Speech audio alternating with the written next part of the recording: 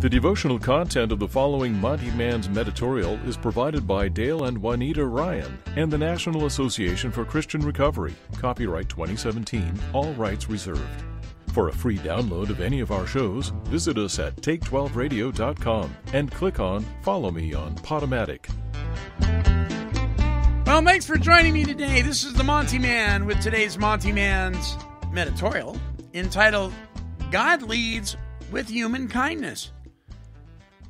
Hosea 11:4 states, "I led them with cords of human kindness, with ties of love.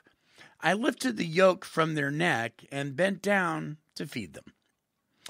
We have all experienced a variety of leadership styles, right?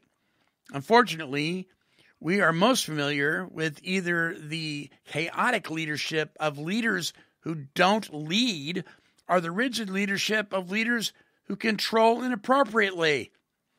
I've certainly fell under those types of leaders. How about you? Well, because we are so familiar with these dysfunctional leadership styles, we may not always expect God's leadership to be helpful. Sometimes we worry that God cannot be trusted to lead effectively in times of crisis or uncertainty. But God does not appear to have uncertainties about the role of leader. God will lead us. God is familiar with this territory. God has charted these waters. God knows how to find water holes in this desert. God can find trails in this trackless wasteland. God can be trusted to lead us. God will lead us, but God will not lead with heavy handedness and control. God does not lead using threats and punishments. God leads us with kindness and with love. Are you listening, leaders? God is pictured in this text as a nurturing, attentive, kind parent. God lifts the burden off our back.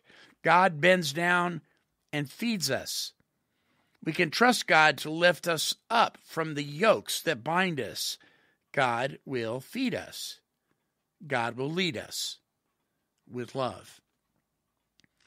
Burden lifter, give me strength today. God of nurture, give me nourishment today. Lead me with kindness. Tie me to you with love. Amen. Well, I have a challenge for all of you who are in leadership, whether it be in ministry or you're an employer. Are you leading with kindness and love, or are you harsh and demanding and controlling?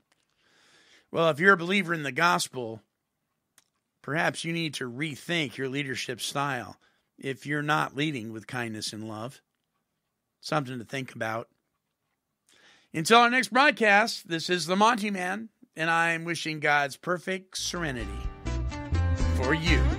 Bye bye now. This has been a broadcast of KHLT Recovery Broadcasting.